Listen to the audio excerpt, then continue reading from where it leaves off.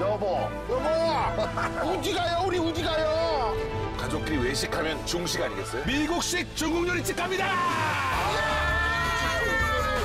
하나는 제 카드예요. 아 뭐야 내 카드잖아. 아, 누가 계산을 하게 될 것인가? 누가 올지 모르니까 많이 먹어도 되는 거고 지금. 나왔다 나왔다. 이름이 세상 반칙 아닙니까? 크리스피 허니 슈림. 뭐 할머니, 할아버지도 좋아하실걸? 그냥 미국식 중국 요리다. 과하지 않으니까 이- 야 계속 먹게 되네. 원래 라이스가 형성돼 있지 않나요? 자, 야, 아까 땡겼잖아. 슈퍼 초 울트라 슈퍼 파워 뭐 이런 느낌인데? 맛없다고 해볼 테면 해봐. 오다고 얼굴에 시감을 하고 먹고 싶다.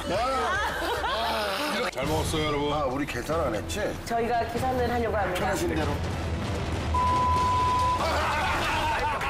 조선시대 수라상에 단골로 오르던 귀한 음식인데 특유의 향과 고소한 맛으로 신흥 밥도둑으로 떠오르는 삼계탕 아유 귀하다 몸보신한다 이런 느낌이 딱 무조건 착착 들게 돼. 그 부분이 히트다 히트. 어, 아주 꽉 찼다 아주 짱짱하다 여기 육수 추가도 되나요? 네, 됩니다. 아 그래요? 빨리 비우고 새 거를 시키는 것도 어떻게 치워? 뭐가 치워?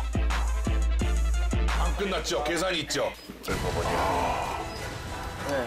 진짜 만 원짜리 32개 먹었네. 47만 4천 원. 어? 네, 누구요?